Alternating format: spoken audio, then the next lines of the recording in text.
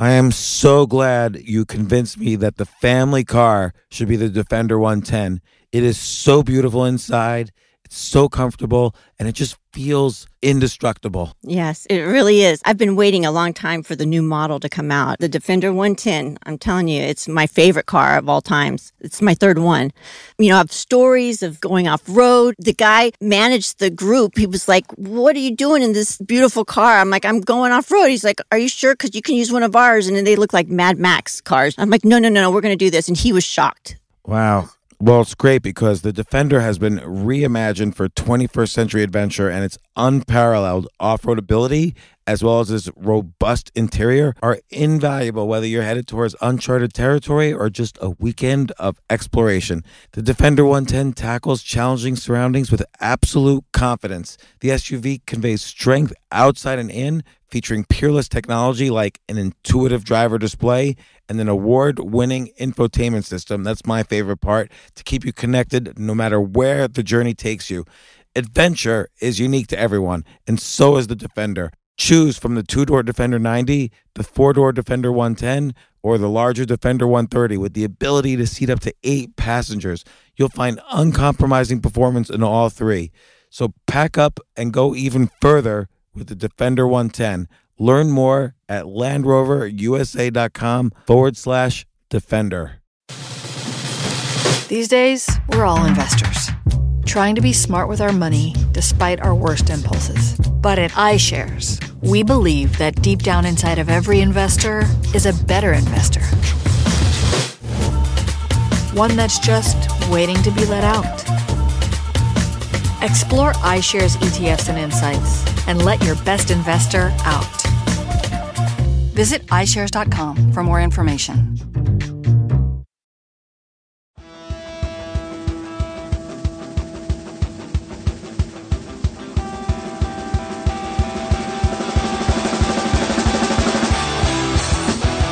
James Altucher, former colleague of mine at TheStreet.com, entrepreneur, great stock analyst, also author of a new book called Choose Yourself. James, how's it going? Frank, it's great to talk to you. Gosh, it's been like four or five years since TheStreet.com. It's times have changed. Times have changed a lot, man. It's been it's been crazy. We did it. We were fortunate enough where I, I took Porter Porter Stansberry has a podcast, and I actually subbed in for him, and you happened to be the guest on that podcast, which was cool. And we had a great interview for like an hour. But my audience for the S&A Investor podcast may not know you as well. And I want to start out by, by talking about your book, which is creating a lot of buzz. Choose yourself. Uh, Porter Stansberry calls this book an instant classic. He doesn't really talk too much about books, but he's really high on this. I mean, what was your inspiration behind the book? Talk a little bit about it. Well, Frank, I, I basically say that in this world, in this economy, everyone that you thought was going to choose you for safety, whether it was uh, your corporations or your banks or the government or your education or whatever, all of these things have abandoned you. And so now the only way to kind of get success and happiness and even some peace and safety in our lives is to choose ourselves. And so what does that mean? I, I describe my own personal story where I've gone through this horrible roller coaster where I've made money, I've gone bankrupt, I've lost everything, lost house, family, money, everything I could have possibly lost, I've lost. Then I've made money again, then I lost it again. So I had to take a look, step back and say, well, what worked for me? And what didn't work for me. And then I started applying what worked for me over and over again. I started to make it a daily practice and I found success again. And knock on wood, it's a daily practice. I hope I keep doing this every day but I write about specifically what I did, my story. I write about the stories of others. I write, I address kind of the concerns and fears that we have in our current economy, and I put it all together in this book. And the feedback has really actually blown me away. Like people are really responding to this book. It's been, it's been a, a bestseller. It was on the Wall Street Journal bestseller list. Uh, it's been the number one book on Amazon for nonfiction for a couple of days. Uh, it's really been surprising. Yeah, and a lot of people, if if you don't know James, I'll give you a description of him. You may be the most humble, brilliant person that I know. oh well, thank you, Frank. I really appreciate that. Seriously, because whenever I talk to you, you're always talking about the mistakes you made. So you're identifying with the, the average person because we've all made mistakes, and you know as well as I do. From you know, you're going on CNBC doing interviews, and even when you're watching these things, a lot of people are so quick to talk about themselves and how great they were and their best calls. And it seems like the first thing that you always do is you say, "Listen, know, I lost money here, and this is why this didn't work, but I'm telling you, this is going to work this time." And I think you're able to identify with, with, with a lot more people. And you're kind of seeing that with this book, right? I mean, the response has been overwhelming, hasn't it? Yeah, well, you know, it's funny because you see this not only in, let's call it financial self-help, which is really what the financial news mostly is, and you also see this in self-help. Nobody wants to admit that we're flawed people at heart. Like, we all wake up a little bit scared, a little bit empty, and we spend the day trying to fill that emptiness. But I always like to say, a, a garden can't bloom without a good amount of rain. And the rain doesn't always feel good. You need an umbrella, you need good protective clothing and so on. But again, the garden doesn't bloom without rain. And that's what our daily lives are like. We need to experience the rain in order to to blossom. Now, hopefully, the, the the pain and adversity that we experience is not so great for each person. It's different. Hopefully, many people are are more mature than me in my book, I just describe specifically what I have done to kind of come back from the grave, where I was literally suicidal. And, you know, I hope people don't get that far and people can choose their own ways, their own paths to success. I describe mine and I also have the stories and testimonials of other people who have done similar approaches to life that I have had. And it's interesting, James. You also talk about health issues on the way up and on the way down. And this is where I think Porter identified with you because a lot of people think, hey, you're successful at business, things are great. But sometimes it gets to a point where, you know, you, you, you, you're not talking to your family as much. You have health. You're staying up all night. So, you know, it's affecting your health. And you cover a lot of this stuff, don't you? Yeah, I mean, people always say to me, "Oh, I'm stuck in life and I'm miserable. What should I do?" Well, always take a step back and you can't you can't move forward without first taking a step back and building the foundation. You can't build a house without the foundation. And what the foundation is is you have to focus this second today on physical health, which includes eating well, exercising well, and sleeping well is probably the most important of that. So sleeping like seven, eight, nine hours a day. Then you have to focus on emotional health. Too many people are like arguing with their bosses, with their family, with their with their spouses, with friends, whoever. You have to be around people who are positive, who inspire you, and who you inspire and love. Mental health, which is I don't mean about being crazy or not crazy, but how do you develop ideas? Like everybody lets their idea muscle atrophy, but every day I take a waiter's pad with me because it has, it's very small and has uh, it's perfect for making lists, and I write down a list of ten ideas. Doesn't matter if it's ten business ideas, ten book ideas, ten ideas I could uh, uh, show my kids I love them. Just make enough ideas that your brain sweats, so you know you're exercising your idea muscle, and that turns you into an idea machine. But it takes about six months you have to do it every day, and it works. And then finally, spiritual health, which is always, even when things are low, always having a sense of gratitude for the sheer abundance in your life, because your body just feels better when you're feeling grateful as opposed to when you're feeling angry. And it's something you can practice all day long, any moment of the day. You can practice feeling grateful. So those four aspects of health are the foundation of how you choose yourself. And from there, it's amazing what can happen. I've seen so many just magic literally happens when when you turn yourself into the magician. Yeah, you, you know what's amazing too. What I realize, and you don't have to admit this if you don't want to, because you know I travel a lot and travel outside the country. Americans sometimes are not grateful. I, I mean, for example, you know, I'm right after this podcast, I'm jumping in my car. I'm driving 17 hours to New York to see my family. There's some people that say, man, I, I got two kids in the car. It's got to be a nightmare. For me, you know, I'm going to see my family who I don't get a chance to see. We're going to barbecue. It's the 4th of July, nieces, nephews. I mean, is it a different way the way people look at life in America? Because, you know, sometimes we take things for granted like, like water, which people in China don't really have. But yet there's so many things to be grateful for in America. Yeah, it's, it's really a good point, Frank. Like, um, America, I don't want to sound, you, you know, America has its its problems, obviously, and and obviously its issues in the economy and in the government and so on. But you know, you're right. We have, you know, we have clean water, we have food, you know, no, very few people are starving in America as opposed to China where, you know, 80% of people in hospital beds are there because of illnesses related to dirty water.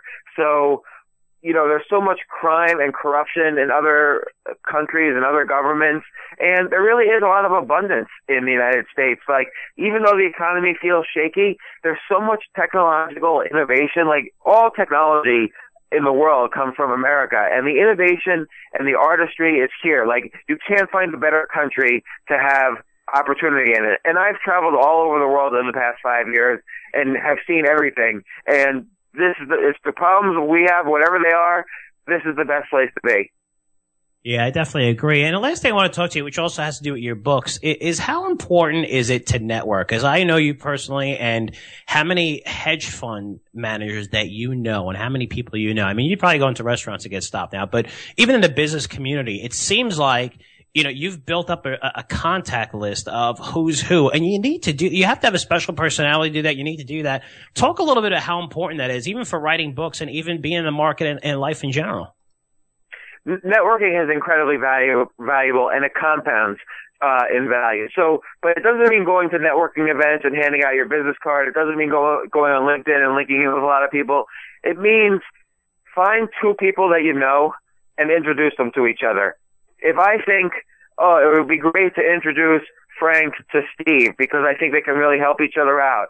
Uh, then I make that introduction. Let's say they create value for each other. Then in a small indirect way, value is created for me because years down the road, Frank and Steve will both remember who created that value for them, which was James Altucher. And you do that every day. Every day I try to think of six people I can introduce to each other. You know, two, three pairs of two people.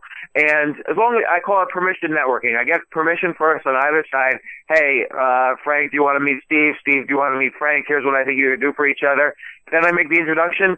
Then I don't have to do anything else, but I've just created value for me. I've just planted seeds that might not bloom for 10 years, but they will bloom eventually. And that compounds across time, across not just days and weeks, but but years and potentially decades. You know, when I launched this book, I took, you know, I have a network go- going back 20 years. People helped me from all across that network in terms of getting the word out about this book, and it's been really amazing. Yeah, that is fantastic advice. Uh, introducing people, and, and, even with this podcast, where I'm fortunate to, to, to interview so many different people and build a networking list. That's really fantastic advice. Just it's almost like taking a step back and introducing people, and again, it has its benefits longer term. I love that. Uh, and you know, some people ask, "What if you only know one person and you can't introduce two people?" Then what I do is I come up with ideas that can help a person in their business. So this is the idea machine part. So if you if you know you're coming up with good ideas and you've exercised your idea muscle well enough, you can start generating ideas for people. So then I will introduce ideas to a person. So I might say, Frank, here's 10 ideas you can use for your next radio show. And if you want, I'll help you find the guests.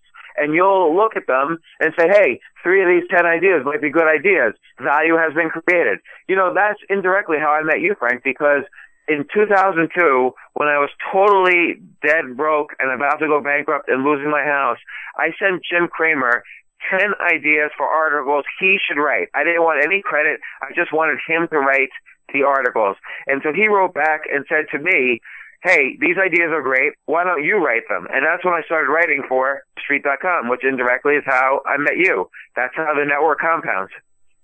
Yeah, it's just amazing. Well, we're talking to James Altucher, entrepreneur, author, and also great stock analyst, which we're going to get to right now. Uh, talk about some of the, well, you know what, let's get to the market conditions first. You, are always an optimist. Uh, you, even, even, when I see on CNBC, when people say, well, you know, these are the risks, you always seem to, to be optimistic on the economy. How do you feel right now with the stock market up so much? Uh, are you just more of a bottoms up guy where you're picking certain sec- certain, uh, stocks, individual stocks? Or you're you looking at the economy as a whole and saying, hey, we're pretty good. There's a lot of opportunity here to make money in stocks? Well, you know, corporations, uh, corporations' profits are at an all-time high, but that's because they're able to fire everybody. So everybody's kind of outsourcing overseas, or they're using technology, or they're using temp staffing companies, which is why I've been bullish in the temp staffing industry. But for the economy as a whole, I think well, we have a lot of problems because of government and because of Federal Reserve intervention that makes me unhappy. But the flip side of the economy is that you have you know, Google creating cars that drive themselves. You have companies that are, you know, doing amazing strides in diagnosing cancer and other diseases.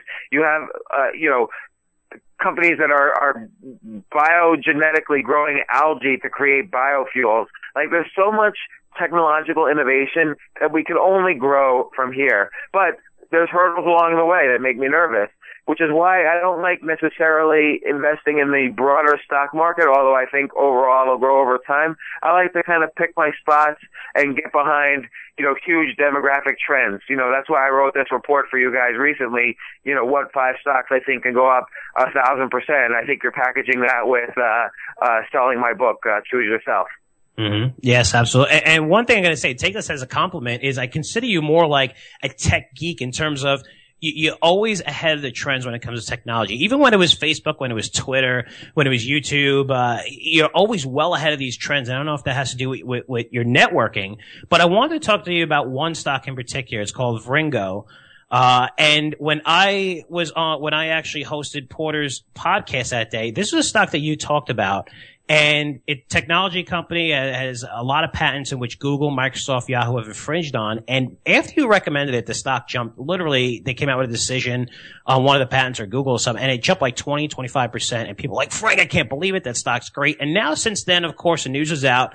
The stock has come down. Are you still following this, this name, which seems like a very, very interesting name in the tech space? Yeah, so so Vringo's a very long term hold for me, uh, and you know the reason this is again part of the networking. So the reason I follow this stock is that in 1990 I used to uh, I guy together, and he was working on software that helps you essentially, uh, you know, and this was even pre-search engines. He was working on software that helped uh, you figure out what a piece of text was about. If you looked at, if a computer looked at an article, what would this article be about?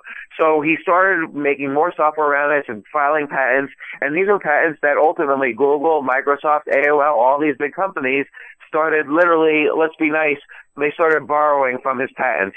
His company was eventually bought by Lycos. Lycos, the search engine, used this technology. Uh, and look, Google now has lost the court case. You know, very, so so Ken Lang. To make a long story short, Ken Lang joined Vringo. They bought the patents from Lycos, which is basically dying somewhere in India, and Vringo sued Google, Microsoft, and AOL. Well, AOL settled. Microsoft is in settlement talks. Google lost the court case, but they're trying to fight it.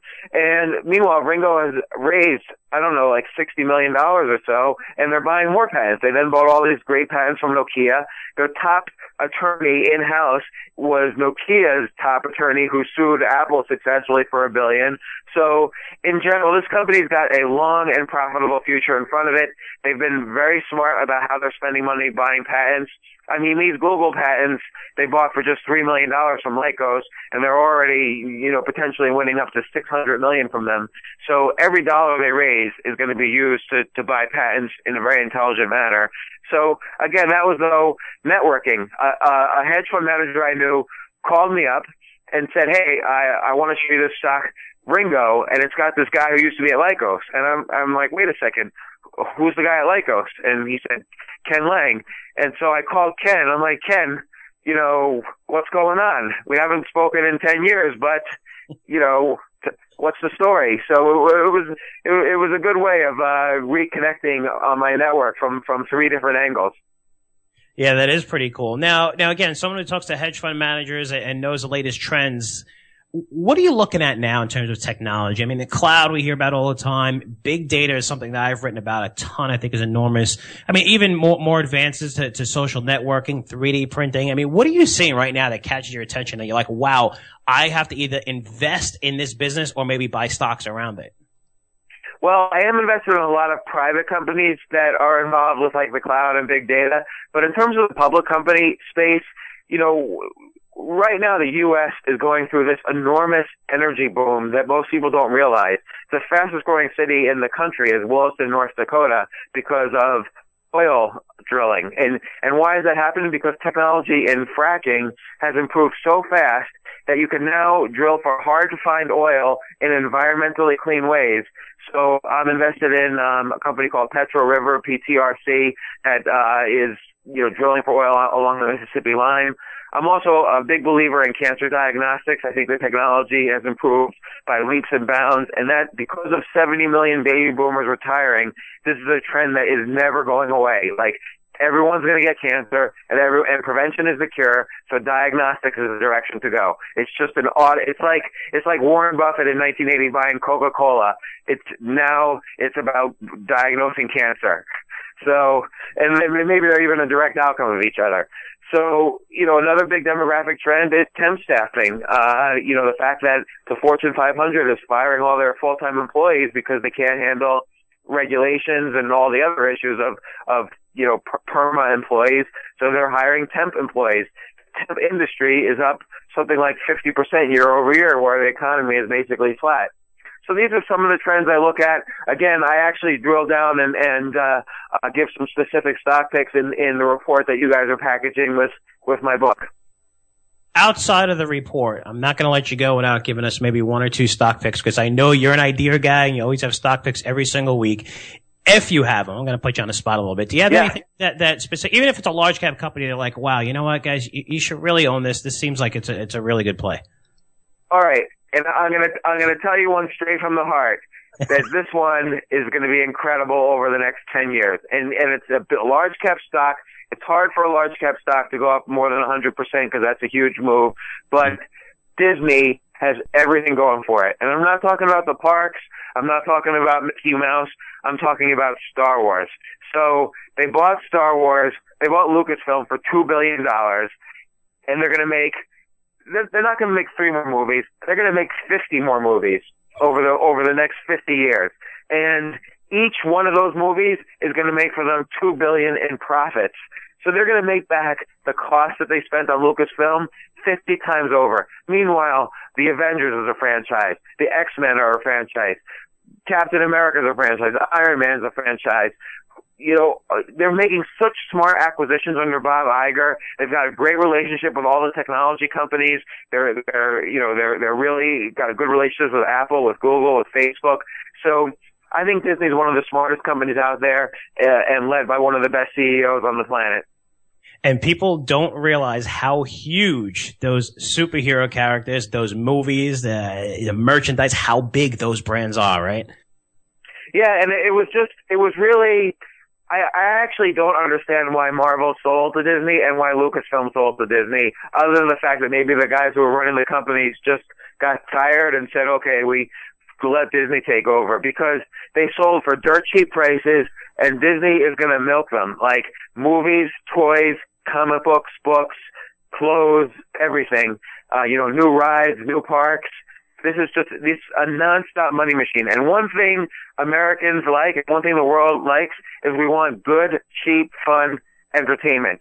Going to a movie, having popcorn, going on a ride, reading a comic book. This is never going to go away. It no, no matter what the economy does. Yeah, that's a great point. Well, James, uh, we'll leave it there. I, I, want to thank you for joining the podcast. I want to congratulate you on the success of, of your new book. And, and, of course, if you know you need anything, give me a shout. You said one of your ideas that you like is the shale regions. I'm actually we're trying to do a 60 minute style documentary. I just visited the Cline Shale, the Eagleford. We're going to Marcellus. We're going to North Dakota in a couple of weeks. So if you ever need any information, wow, oh, good for you. That's going to be great. Yeah, I did definitely give me a shout. And uh, again, I really appreciate you taking the time to, to, to be in the podcast, man. I miss you, bud check out the McDonald's when you go to Williston, North Dakota. It's it's one of the it's the fastest growing McDonald's in the country. 18 million in revenues, which is like three times higher than the average McDonald's. It's amazing what's happening there. I definitely will, definitely will, man. All right, well, thanks a lot, Frank. Thanks for having me on the show.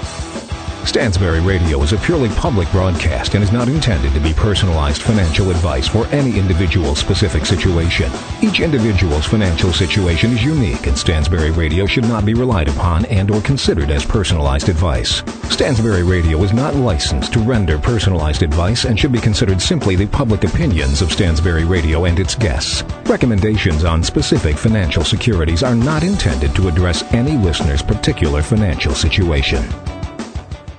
Walmart's Black and Unlimited platform is making it easier than ever to support Black-owned brands. When you go to walmart.com slash black and unlimited, you'll not only get to shop products from Black-owned brands, but also learn about founders like Janelle Stevens of Camille Rose, which specializes in products for naturally curly hair, or the Allison Devon, founder of Teaspressa, and there are many more awesome products that you have yet to discover. It's all easy to find with Walmart's Black and Unlimited platform. Join in on celebrating Black brands today and every day at Walmart. We are Black and Unlimited. Visit walmart.com slash black and unlimited to discover more. That's walmart.com slash black and unlimited limited.